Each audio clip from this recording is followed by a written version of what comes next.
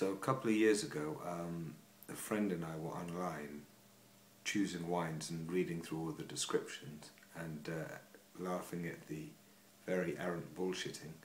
Um, so I decided to write a little poem about it called The Wine Review. Hope you enjoy.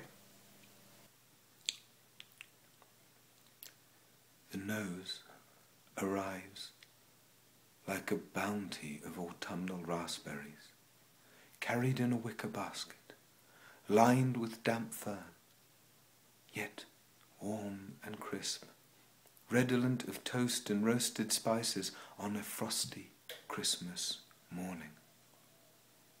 Tipping this cargo for a first sip reveals an underlayer of smooth tayberries, a sharp, tart apple, and black vanilla notes which fly off to dot, like a musical score, the branches of nearby mature oak trees.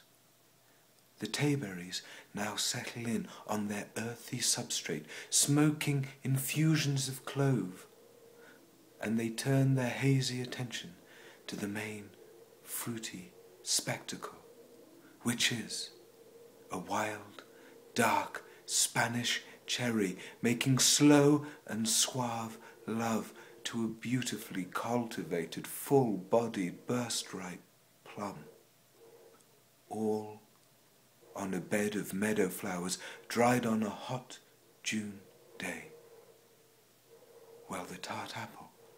She now grumpily departs, making us aware of the absence of her presence, and also the presence of her absence and the palate now dissolves, as though, as though a bright meteor hurled across the sky by the sling of some goddess should send down its sprinkling minerality to the earth to usher forth spring water, metallic yet fresh.